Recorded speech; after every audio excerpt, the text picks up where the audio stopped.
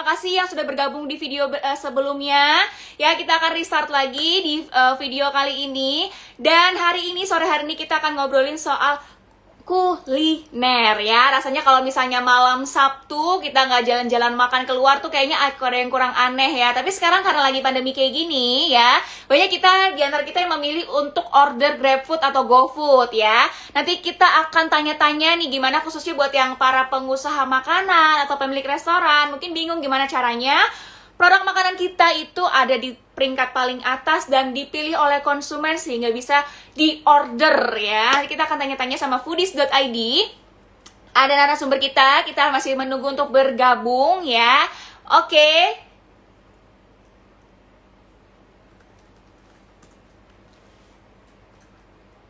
Baik ya, kita masih menunggu. Nah, ini dia nih kita oke. Okay.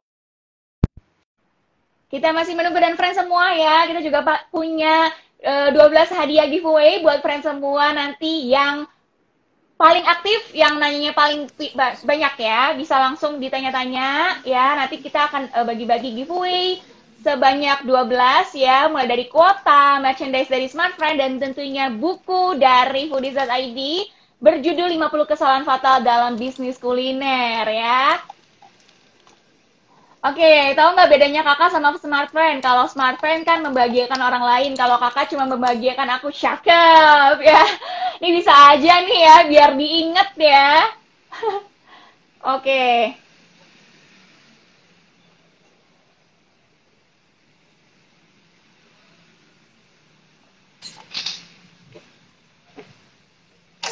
Oke, kita masih menunggu ya, friend ya. Dan tentunya di Smartphone itu juga kita punya perdana yang lagi banget ada Ion Plus ya. Ini ada Ion Plus itu uh, kuotanya itu ada bonus kuota mingguan dan tentunya aktifnya sampai dengan 365 hari. Jadi buat friend yang suka lupa nih ya, kadang suka nar lupa naruh handphone di mana, kacamata di mana, toto di sini, ya tenang aja.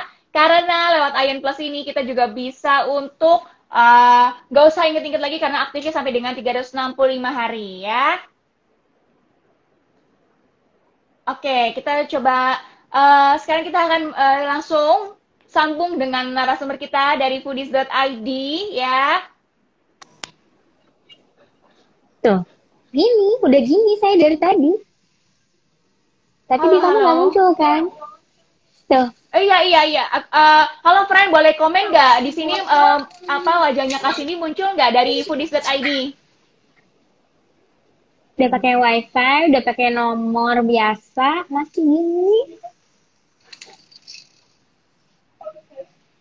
Hai friend ya. Videonya nggak ada. Oh dari dari dari siapanya? Halo Pak Dani ya. Oh nggak muncul. Nah dari nah, oke okay, nggak muncul dari dari dari nah, ini ya foodies.id-nya belum ada ya? Boleh, coba. Ini saya ya, post. suaranya suaranya ada tapi uh, videonya belum muncul ya. Oke, okay. uh, eh, yang muncul malah Kak Dani, ya. Oke, okay, dari Nathanael. Oke, okay, ya, videonya nggak muncul ya. Kita tunggu sebentar ya. Dan tentunya friend kita juga nanti punya 12 hadiah untuk friend semua yang aktif dan ikutan sampai dengan akhir acara ya. Baik ya, kita langsung connect dengan foodies.id untuk kita tadinya belajar gimana caranya strategi bisnis kuliner yang baik ya. Jadi friends semua di sini yang punya usaha kuliner. Nah ini dia, halo Mbak Cindy. Ini saya baru ya. Halo Mbak. Oh, sorry ini ada isu sama device-nya deh kayaknya karena dari tadi sebenarnya udah join. Oh gitu, nggak apa-apa, nggak apa-apa. Friend di sini tentunya setia banget nih ya menunggu untuk kehadirannya Mbak Cindy karena kita pengen belajar hari ini. Nah, mungkin boleh dikenalin dulu nih Mbak Cindy. Kenalan sama friend uh, friend community yang ada.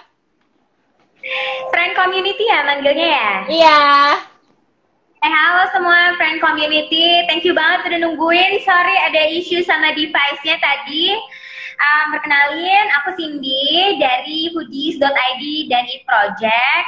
Kita udah dari 2013 mungkin berkecimpung di dunia makanan, makanya bentuknya kayak gini. Makan terus soalnya kerjaannya. Dan hari ini happy banget diundang sama tim Smart Friend Community buat sharing-sharing tentang gimana kita bisa sukses sebagai bisnis kuliner di GrabFood sama GoFood. Jadi um, dalam satu jam ke depan ya kayaknya ya. Ya betul Mbak Cindy. Nah, friend semua, jadi uh, selain uh, ini Mbak Cindy juga merupakan kalau nggak salah 30 under 30 Forbes Indonesia, betul ya Mbak ya? Betul di tahun lalu, iya. Wih, luar biasa nih friend ya. Tentunya para narasumber yang hadir di Smart Fan Community online kelas ini itu pastinya kece-kece banget dan berprestasi. Nah, Mbak Cindy boleh dong ceritain foodies hmm. awalnya, ngebentuk foodies tuh kayak gimana? Tujuannya?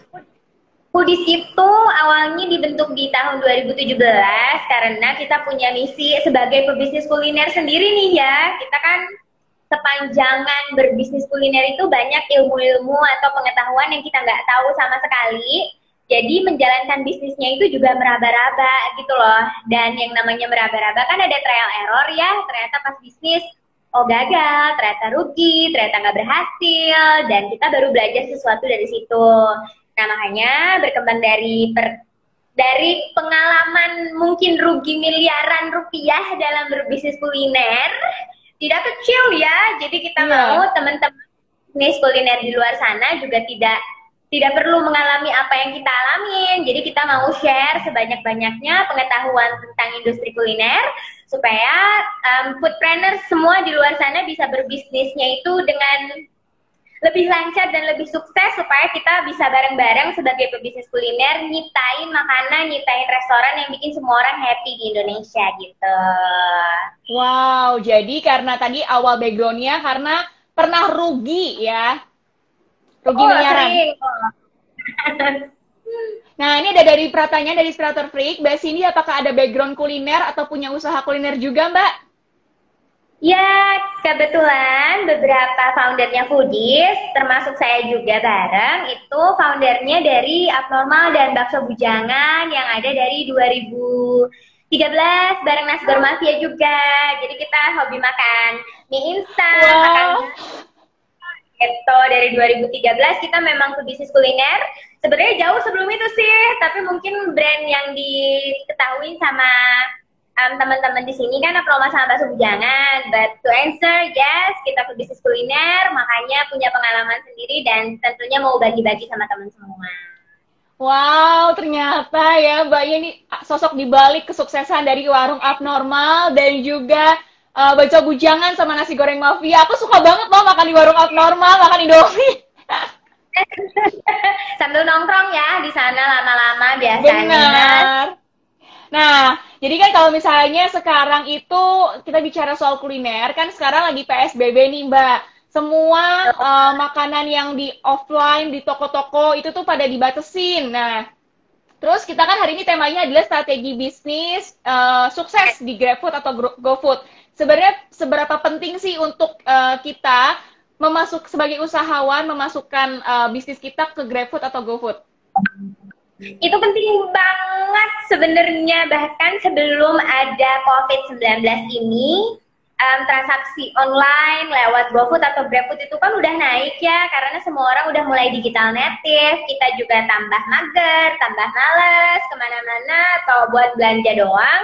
Jadi sebenarnya um, kalau bisa dibilang saja semua pebisnis kuliner, even dari awal banget baru bikin bisnisnya, kita benar-benar saranin, mainin, dan gunakan GrabFood, GoFood dari awal banget.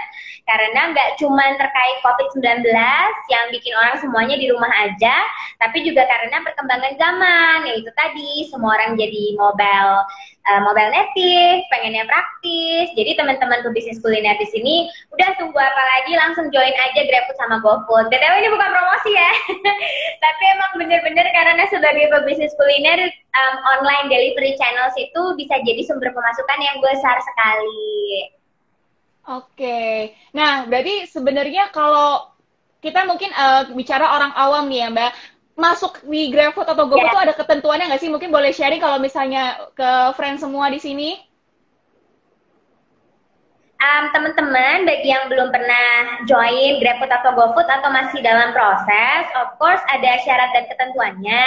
Nanti mungkin bisa ditemukan di PIC atau um, kontak-kontak GrabFood dan GoFood yang diketahui aja dari pebisnis kuliner lain, tapi biasanya itu ada syarat legalitas standar sih. Misalnya kalau teman-teman itu badan usaha, PT, NPWP, atau SK Kemenkumham, pokoknya sifatnya administratif.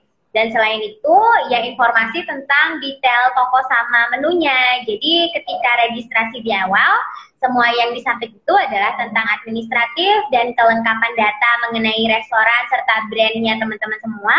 Nanti baru diproses sama mereka. Dan by the way, mungkin karena sekarang semuanya lagi memulai bisnis, apalagi karena di rumah aja, jadi nyoba-nyobain bisnis dari rumah yang daftar GrabFood dan GoFood itu banyak banget mungkin jadi pendaftarannya mungkin tidak sebentar. Jadi teman-teman di sini jangan lupa cepet-cepet daftar karena ada proses juga di situ. Jadi daripada nungguinnya lama padahal bisnisnya udah jalan, mending dari sekarang supaya nanti nggak kelamaan tanpa GrabFood dan GoFood jadi konsumennya nggak bisa beli. Oke, berarti butuh proses juga ya dari pihak uh, GrabFood atau GoFood ya tadi untuk uh, memvalidasi badan usaha kita sendiri ya. Jadi teman-teman nah. nanti kalau harus ngumpulin apa aja, kumpulin yang lengkap dulu, jangan dicicil-cicil.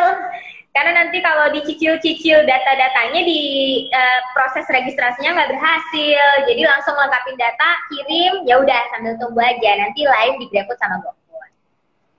Nah, selain uh, mungkin tadi kan itu salah satu bentuk uh, pendaftaran ya, tantangan juga. Selain itu sebenarnya apa sih Mbak mungkin tantangan untuk uh, masuk di GoFood atau GrabFood tuh misalnya kayak dari segi packaging harus nggak tumpah ketika dibawa oleh abangnya naik motor atau gimana? Ada mungkin boleh di-sharing?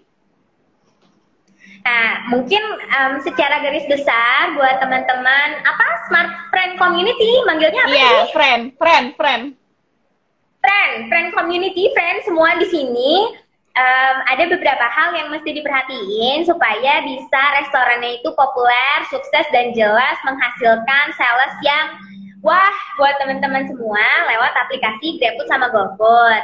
Ada tiga poin nih yang penting, tiga ya. Yang pertama itu adalah um, bagaimana cara mempromosikan restoran atau brand teman-teman sendiri di sini pada aplikasinya itu sendiri.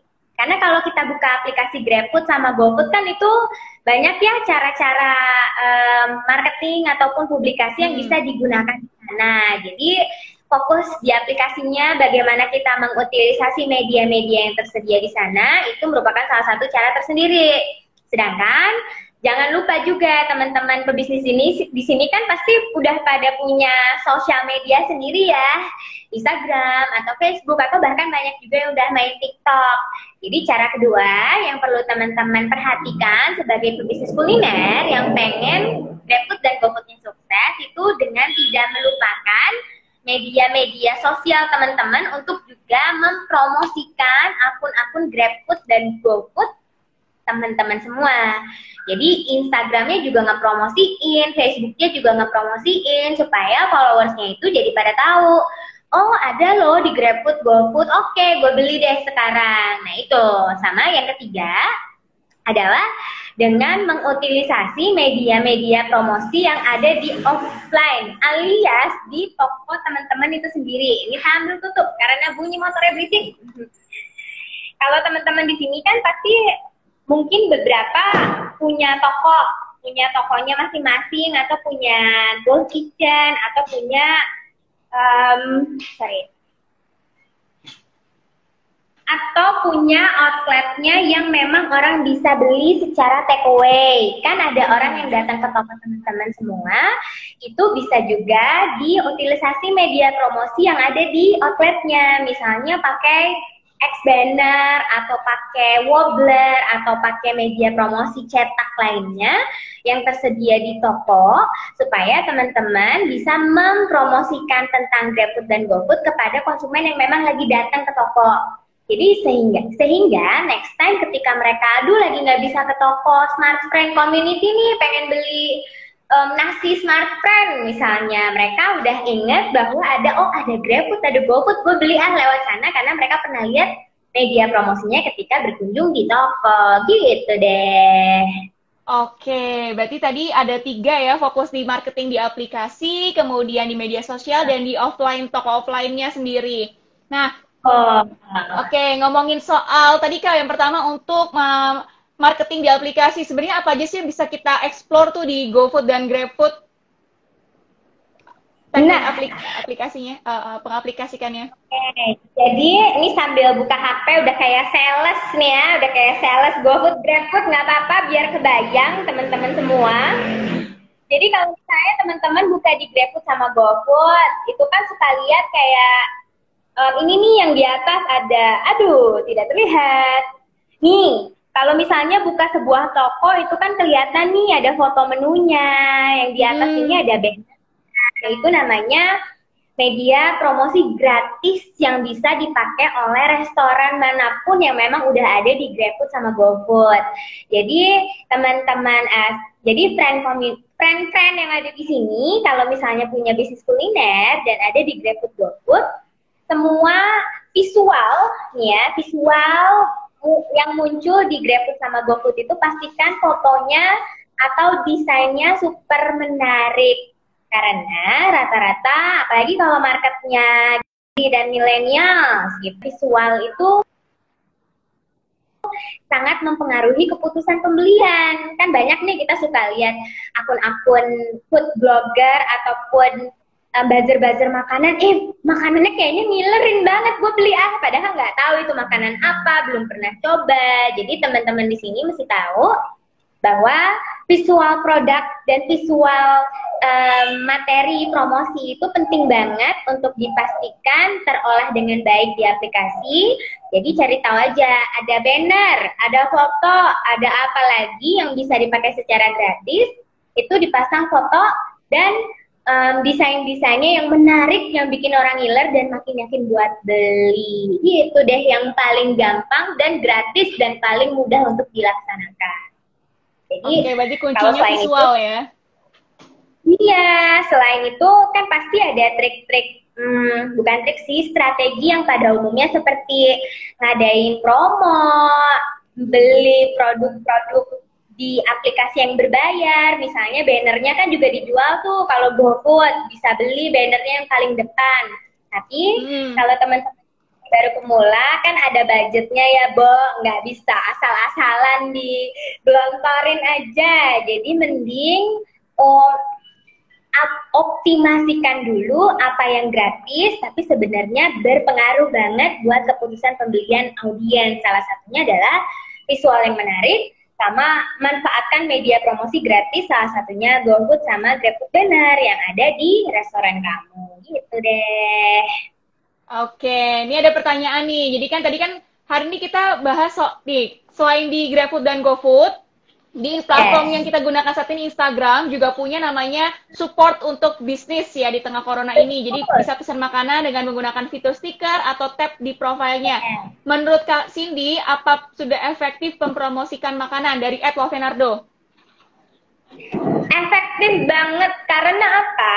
Jadi prosesnya itu ya, kalau misalnya um, saya buka GrabFood, saya itu nggak tahu mau beli apa sebenarnya. Pengen aja, pengen makan sore, pengen cemilan. Sehingga kalau teman-teman baru mau bersaing di aplikasinya, itu tuh waduh lawannya banyak banget. Yang jual ayam geprek tiap meter ada, yang jual bakso aci di mana juga ada. Alhasil banyak orang yang lebih memilih mana yang lagi promo atau mana yang kelihatan duluan. Sehingga salah satu tipsnya buat teman-teman di sini adalah dengan menarik mundur dulu. Jadi bersaingnya jangan di aplikasi GrabFood sama GoFood, bersaingnya langsung dari media sebelumnya. Karena kan kita juga suka nih kalau gabut buka Instagram ngapain lagi sih sekarang kalau gabut ya main Instagram, main hmm. um, YouTube, salah satunya Instagram kita buka buka buka sebenarnya lagi gabut doang Misalnya ada Smart Prank Coffee, dia lagi ngepost tentang foto kopi, bukan foto kopi, tapi foto dari menu kopinya itu, terus bisa klik ke GrabFood, ketika orang klik, mereka itu langsung masuk ke akun Smart Prank Coffee di aplikasi GrabFood. Jadi Smart Prank Coffee-nya nggak perlu bersaing lagi dengan kopi-kopi yang lain, karena audiens-audiens um, teman-teman yang punya restoran di sini udah langsung masuk ke akun precisely akun teman-teman restoran yang ada di GrabFood sama GoFood. So, memanfaatkan media sosial lain makanya jadi tips yang kedua. Karena teman-teman kan pasti punya followersnya masing-masing hmm. di Instagram, di YouTube, di TikTok, di Facebook, dan yang paling hot sekarang kan Instagram, fiturnya banyak banget yang mensupport supaya pebisnis kuliner ini sukses makin. Jadi jangan lupa rutin ngepost Instastory yang ada stiker order food dan link kalau di bio kan bisa nambahin web atau link yang kita bisa tujukan langsung ke alamat restoran teman-teman yang ada di GrabFood sama GoFood deh supaya orang langsung klik langsung belanja nggak pakai mikir lagi. Oh gitu, jadi efektif ya tadi Edward Fenardo. Oke. Uh, eh, Kak Cindy ada lagi nih dari uh, Edward Fenardo. Tadi kan mungkin Foodies itu kan merupakan uh, platform untuk mewadahi edukasi buat para uh, pebisnis kuliner ya. Di Foodies ini tuh ada nggak sih bimbingan untuk pebisnis pemula bidang kuliner? Untuk pebisnis pemula, jadi um, yang tanya tadi, thank you buat pertanyaannya. Jadi foodies ini materinya itu sebenarnya bisa dibilang lengkap banget bagi yang mau mulai maupun udah mulai dan um, permasalahannya berbeda. Karena biasanya kan kalau baru mau mulai, aduh gue bikin produk apa, bisnis modelnya seperti apa, keuangannya kayak mana, masih bingung hal yang seperti itu. Sedangkan yang udah punya bisnis besar itu punya kebingungan yang berbeda. Aduh mau nambah 100 cabang gimana caranya? Mau bikin franchise gimana caranya? Itu permasalahannya berbeda-beda, tapi di foodies ini banyak banget materi yang mengcover kebutuhan yang berbeda-beda tersebut. Jadi bagi yang baru mau mulai bisnis kuliner, ikut eh, cek aja di website foodiesnya, materinya banyak, ada membuat marketing plan, baru mau menentukan produk itu ada, cek aja websitenya nanti cari materi yang cocok dengan situasi teman-teman saat ini aja deh. Oke, jadi bisa langsung cek di websitenya ya foodies.com ya. Foodies.id langsung cari materinya oh. banyak banget. Oke ya. Nah ini ada lagi dari pertanyaan dari Koko Alay. Uh, apa sih sepak terjang awal bisnis kuliner? Yang yang kita nih, yang teman-teman foundernya Foodies. Kenapa? Kenapa kak? Sepak terjangnya teman-teman teman-teman founder Foodies dan abnormal nih. Iya iya betul. Ceritain aja kak, sharing. Jadi dulu kita itu sebenarnya bisnis consultant, kita itu ngehandle perusahaan-perusahaan lain, tapi um, pengen punya bisnis sendiri. Kan teman-teman di sini pasti bermula dari aduh gue capek nih kerja buat orang pengen kali punya bisnis sendiri.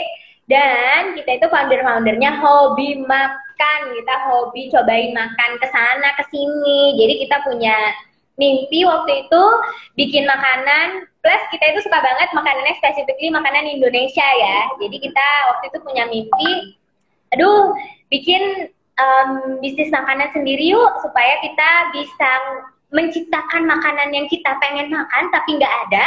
Tapi sambil kita punya bisnis sendiri karena kita pengen selalu bermimpi pengen punya bisnis makanan. Jadi ya well prosesnya nggak gampang. Kita sempat gagal berkali-kali juga dengan bisnis yang berbeda.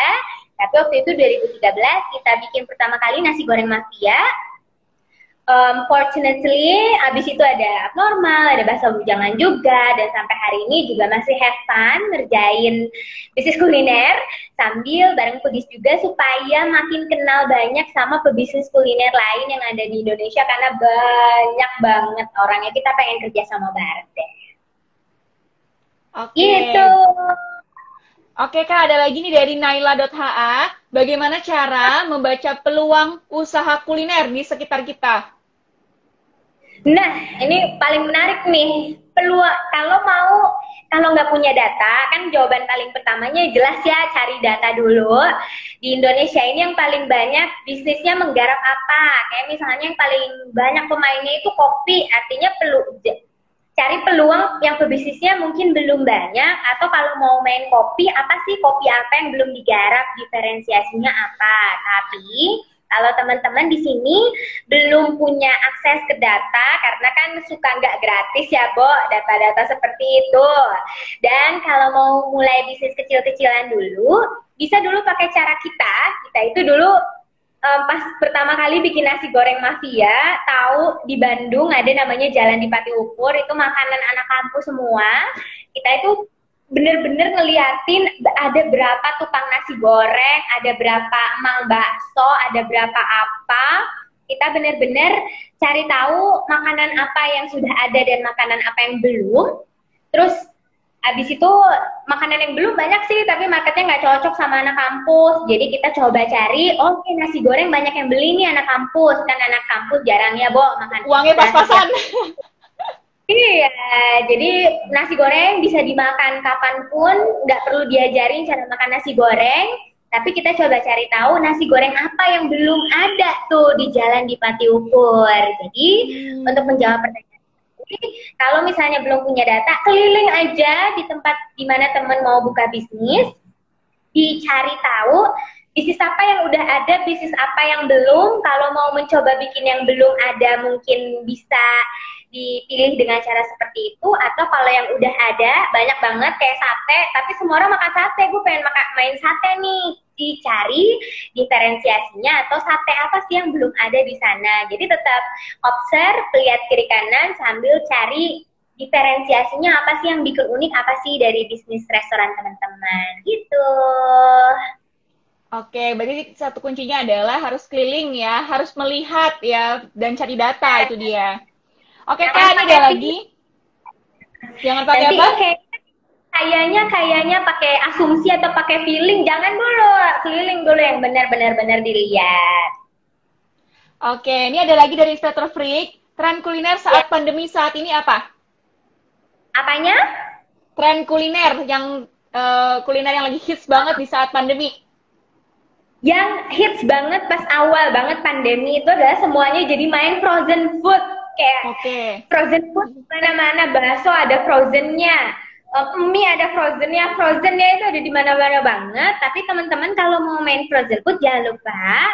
Kalau ada standarnya nih di Indonesia ada sertifikasi MUI, PIRT dan lain-lain. Jadi juga jangan um, demi menggarap peluang jadi asal-asalan gitu frozen foodnya. Jangan lupa prioritaskan um, keamanan buat konsumen juga ya. Tapi kalau sekarang hmm, karena juga um, sekarang udah ada protokol baru, boleh keluar asal jaga physical distancing atau jaga pakai masker dan kebersihan. Sekarang itu tempat-tempat kayak yang bisa grab and go langsung atau ada tempat duduknya juga tapi sedikit nggak begitu penuh itu juga mulai rame makanya minuman-minuman kekinian kayak haus misalnya atau kayak singkutan gitu-gitu kan juga rame lagi. Jadi teman bisa consider kalau mau mulai either main frozen food karena sekarang lagi kebutuhannya tinggi banget, semua orang pengen yang pasti-pasti di rumah aja atau mainin minuman-minuman kekinian atau bikin yang benar-benar belum ada dan belum kepikiran sama sekali.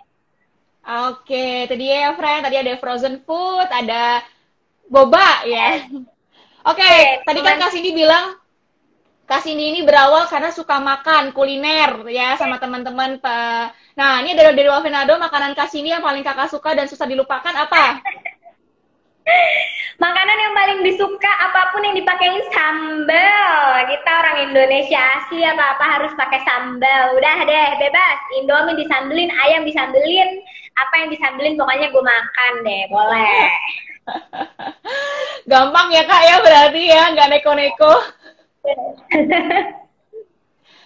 Oke, nih dari Koko Ale 12 gimana memulai bisnis tapi nggak ada modal? Nah, ini seru banget nih. Sebenarnya kalau mau ngobrolin kayak gini harus ikutan kelasnya Foodies.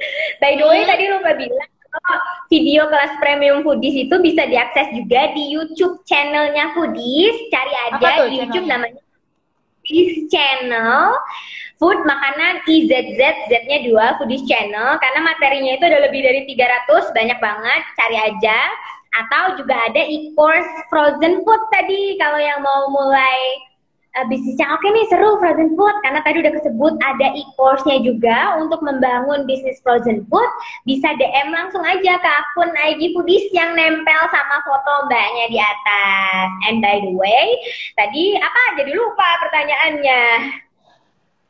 Pertanyaannya gimana kalau nggak punya modal? Pengen bisnis tapi nggak punya modal? Banyak banget caranya, either um, kerja sama bareng teman, misalnya dia jadi pemodal, kita jadi yang ngerjain, atau memang seadanya dulu berapa, pakai uang gaji sebulan tuh jangan diapa-apain, makan aja dulu nasi kering atau nasi telur setiap hari supaya bisa nabung dan bisa mulai dari budget yang ada dulu aja. Jadi nggak selalu harus langsung punya modal yang besar. Karena kan kita juga butuh validasi di bisnis mulai dari kecil-kecil juga boleh. Tapi kalau mau cara lengkapnya nggak bisa dijelasin di live satu jam sekalipun. Nanti cek langsung aja ke beberapa materinya ada polanya. Oke, jadi langsung aja ya tadi yang tanya soal gimana nggak punya modal bisa langsung cek YouTube-nya Foodies ya. Oke, ini ada lagi dari uh, ini sorry bentar kak. Oke, Kak Cindy, abnormal dan level entry-nya lumayan mudah. Gimana biar dalam persaingan tetap unggul? Banyak banget sebenarnya caranya yang harus dipakai mulai dan itu holistik ya, nggak cuma tentang marketing. Kalau untuk memenangkan persaingan itu semua bagian dari bisnis semua apa ya bahasanya semua divisi ya semua divisi dari perusahaan itu punya banget ken, um, pengaruh masing-masing tapi yang paling umumnya aja untuk marketing, of course, karena yang paling berhubungan sama konsumen, kenalin banget konsumennya atau target marketnya seperti apa dan selalu penuhi keinginan mereka. Jadi misalnya kalau abnormal nih, kan marketnya itu Gen Z sama millennials. Mereka itu selalu mau ada sesuatu yang baru jadi kita itu rutin untuk nge-launching menu baru, bikin games-games yang seru, pokoknya dengarkan maunya audiens yang banyak banget itu. Tapi sekali kita mampu mengikuti keinginan mereka yang berubah-ubah, mereka pasti bisa membangun ikatan yang lebih emosional sama kita karena mereka tahu kita um, sebuah kita sebagai brand ini mementingkan keinginan dan pendapat mereka. Jadi bisa start dari situ, pahamin dulu marketnya seperti apa, cari tahu keinginan mereka apa dan deliver keinginan mereka tersebut lewat fitur-fitur ataupun nilai yang ada pada bisnis teman-teman semua. Oke, jadi harus upgrade menu ya, dengerin customer ya. Nah, oh. ke sini, mm, ini ada lagi dari R3ZHAS dia konsultasi nih kayaknya. Saya mau buka usaha es alpukat kocok, harga 15.000, sudah termasuk keju parut dan susu SKM. Termasuk harga standar hmm. kah di kawasan Jalan Karet Pedurenan Setiabudi? Waduh, nggak tinggal di Jakarta jadi nggak tahu mas, sorry banget. Tapi bisa dicari tahu dengan coba aja buka aplikasi GrabFood dan GoFood di daerah Karet Petambunan tadi. Coba cari yang keywordsnya duren, eh sorry alpukat tadi ya. Lihat aja rata-rata yeah. harga di sana akan langsung kelihatan oh gue kemurahan atau oh gue mahal banget. Jadi bisa langsung cari di aplikasinya aja buat bandingin secara langsung. Sayangnya ada di Bandung jauh banget. Wow itu ya tadi ya tadi tipsnya. Lagi dari sebentar. Oke, tadi ada dari M Bintang RS. Kira-kira berapa lama sih nunggu ACC dari GrabFood atau GoFood? Karena saya udah masukin lama gitu. Mungkin kasih tahu jujur banget kita juga sebenarnya nggak tahu karena pas ngobrol-ngobrol sama um, komunitasnya foodies ada yang cepet banget, ada yang beda banget, ada yang jauh dan lama banget. Jadi um, format mereka seperti apa dalam menseleksi jujur nggak tahu karena kita juga bukan orang GrabFood dan GoFood tapi yang penting yang teman-teman di sini harus tahu pokoknya fokus aja dilengkapin datanya yang sebaik-baiknya, jangan sampai ada salah atau kurang. Dan kalau nanti udah disubmit tuh ke tim GrabFood atau GoFood, semangat follow up-nya setiap hari supaya kalaupun dari mereka kelewat atau belum jadi prioritas, mereka jadi, oh oke oke okay, ini ada smart friend smart friend coffee kok gangguin gue mulu ya udah deh approve approve aja. Jadi lengkapin datanya dan follow up aja terus setiap hari. Usaha dulu aja di bagian sana. Oke, ini ada lagi nih kalau misalnya uh, supaya ketik misalnya kita ketik pempek. Nah, supaya kita ada di urutan teratas gitu algoritmanya seperti apa tuh? Ada, tahu nggak Kak? Gimana tuh? Ada nah, kalau misalnya setahu kita kalau um, ketika kita nge-search sesuatu di GrabFood atau GoFood yang mereka jadiin rekomendasi itu ada tiga satu itu yang paling deket banget sama posisi kita saat ini jadi kunci memenangkan persaingan di paling dekat sama audiens itu sebisa mungkin punya banyak cabang aja karena jadi bisa ada di mana-mana dan konsumen jadi banyak kan yang bisa beli. Terus yang kedua adalah mereka yang punya ratingnya tinggi. Kan sekarang itu kita udah bisa ngerating nih restoran A, restoran B di GrabFood sama di GoFood. Nah, pastikan teman-teman di sini kalau punya bisnis kuliner, ingetin terus pembelinya, ingetin terus um, followers-followersnya di Instagram jangan lupa ya rating restoran kita di GrabFood sama GoFood karena semakin tinggi ratingnya semakin direkomendasikan juga. Baru yang ketiga, supaya muncul paling atas itu suka nggak suka itu gimana performa sales karena GrabFood dan GoFood itu otomatis merekomendasikan yang salesnya tinggi-tinggi. Hence, teman-teman di sini harus semangat melakukan berbagai manuver dan teknik di GrabFood, GoFood ngadain promo, pakai desain bagus, pakai foto menarik, promosiin terus supaya salesnya naik. Begitupun juga dengan performa, eh, begitupun juga dengan rekomendasi yang diberikan oleh GrabFood sama GoFood di aplikasi deh buat teman-teman. Salesnya bagus, makin dipromosiin, makin dinaikin lagi. Oke. Okay. Rating itu penting banget penting ya? karena kita semua Ya, karena kan sekarang kayak ada dari zaman dulu juga udah kebiasa kan ada Crave, ada Zomato. Kita mau datang ke restoran, ratingnya bagus nggak ya? Nanti kalau jelek di gue juga pengalamannya nggak enak. Jadi di GrabFood, GoFood mulai fokus untuk mengingatkan terus pembeli maupun followers di Instagram untuk ngasih rating. Tapi ngasih ratingnya 5, jangan satu ya, yang 5, yang tinggi, biar bagus ratingnya. Oke, nah Tadi kan untuk uh, itu tadi soal uh, apa algoritma. Nah, sekarang gimana dari caplok data ini pembagian profit kalau misalnya usaha kita masuk ke Grab atau GoFood berapa persen? Jadi di Grab gue udah kayak sales Grab ke GoFood ya guys, tapi nggak apa-apa biar dapat info yang jelas.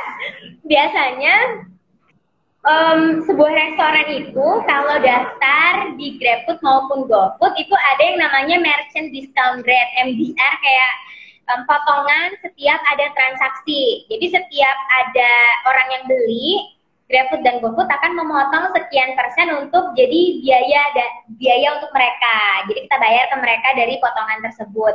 Hanya saja angkanya itu beda-beda tiap um, skala perusahaan. Jadi kalau teman-teman mungkin yang baru satu tokonya atau baru tiga, mereka pasti kasih rating yang eh, kasih rate yang paling standar. Kalau nggak salah itu 20 sampai 25 persen setiap transaksi. Tapi semakin banyak jumlah cabangnya atau semakin besar nilai transaksi yang terjadi di restoran teman-teman, teman-teman makin bisa negosiasi nih ke GrabFood sama GoFood sales gue kan bagus, gue kan cabangnya banyak, ayolah kasih rate gue yang lebih rendah. Jadi nanti teman-teman, kalau cabangnya udah banyak atau transaksinya udah gede, jangan lupa negosiasi ke GrabFood sama GoFood untuk diturunin rate-nya sehingga makin hemat lagi.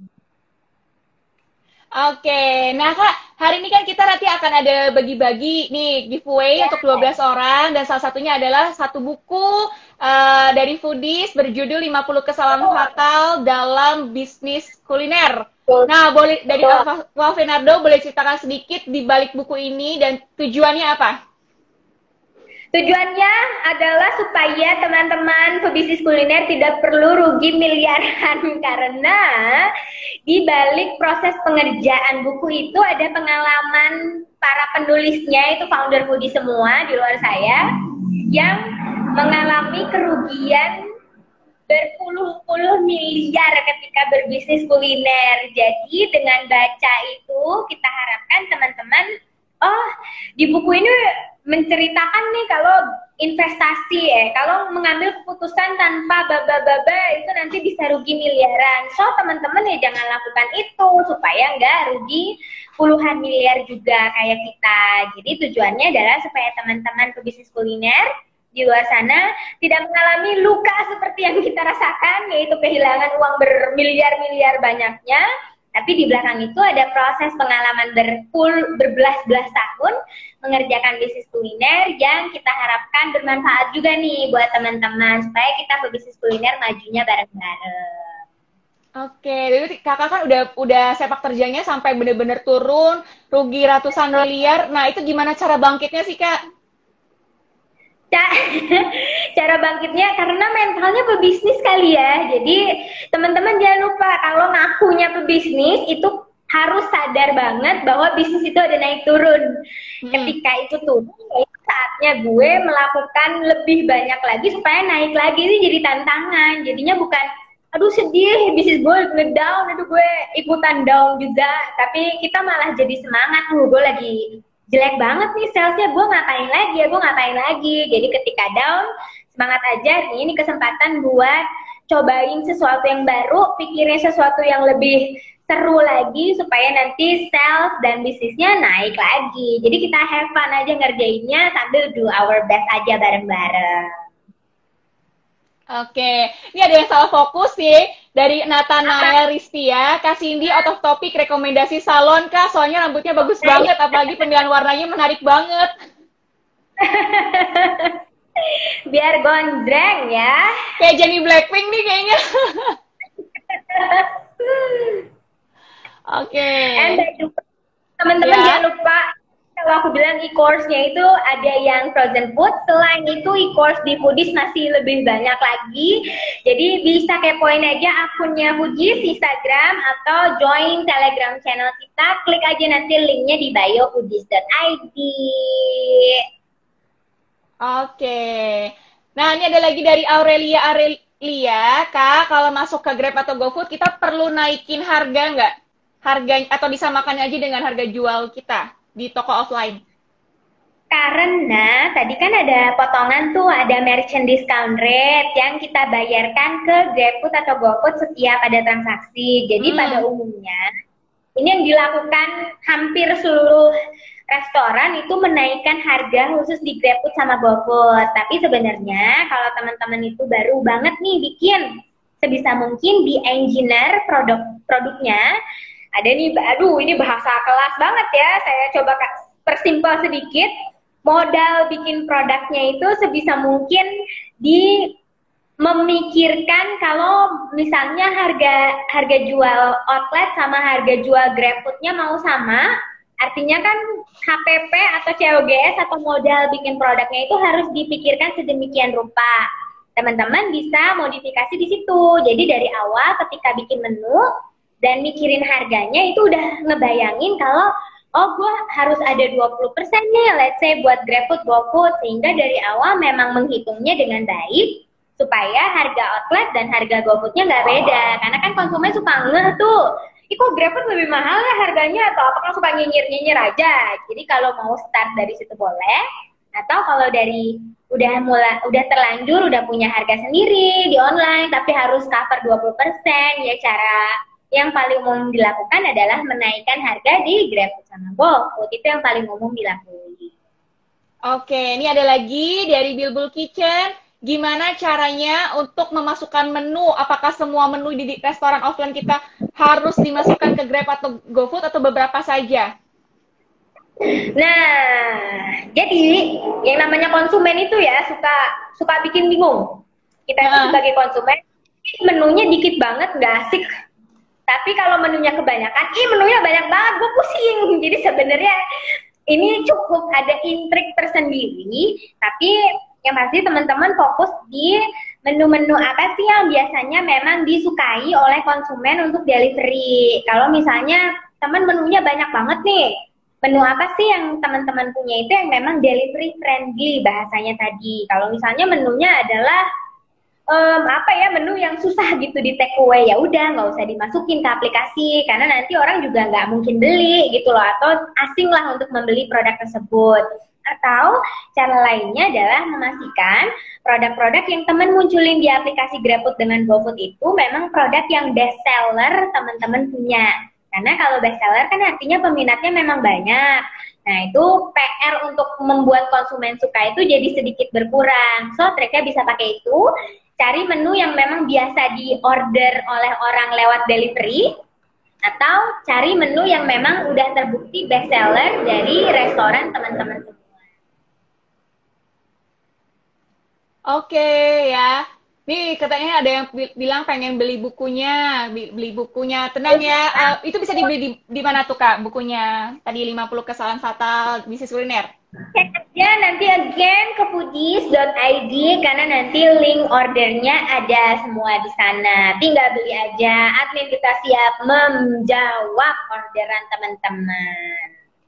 Oke ya. Nah, sebelum kita berakhir nih Kak, mungkin ada motivasi yang bisa dikasih ke seluruh friend yang nonton pada malam uh, maghrib ini uh, untuk gimana memotivasi biar kita tetap bisa usaha kuliner semangat gitu. Nah, first of all, keren banget yang udah nonton ini aja, artinya keren banget karena menyisipkan waktunya di sore entah yang habis kerja sebenarnya lagi mumet-mumetnya atau yang memang di rumah aja dan nyantai aja. Wah kenapa nggak nonton aja ya? Nonton drakor atau nonton apa tapi nggak um, meluangkan waktunya buat nonton ini. Keren semua. Dan jangan lupa um, bisnis kuliner is actually very sexy ya bahasanya. Karena kita makan tiga kali sehari atau kalau yang sosok diet oke lah dua kali sehari. Jadi marketnya gede banget. Semua orang makan semua orang mau makan yang beda-beda setiap harinya. Jadi bisnis kuliner itu menarik banget tapi teman-teman jangan lupa atau ketika pun menjalankan bisnis kuliner jangan berhenti untuk cari terus pengetahuan baru, insight baru atau sharing-sharing um, dari yang lain. Jadi supaya bisnisnya itu terus berkembang dan berinovasi, hence nggak kehilangan market ataupun jadi bangkrut karena kayak jadul kayak zaman batu gitu loh nggak ngapa-ngapain. Jadi keep sharing, keep cari terus community-nya, belajar terus supaya nanti bisnis kulinernya bisa segera dimulai dengan um, perencanaan yang baik atau bisnis kulinernya terus jalan dengan inovasi-inovasi yang seru juga. Oke, nah buat friend semua yang pengen tadi uh, pengen cari ilmu lebih lanjut, lebih dalam lagi, bisa follow Foodies di mana kak? foodies.id.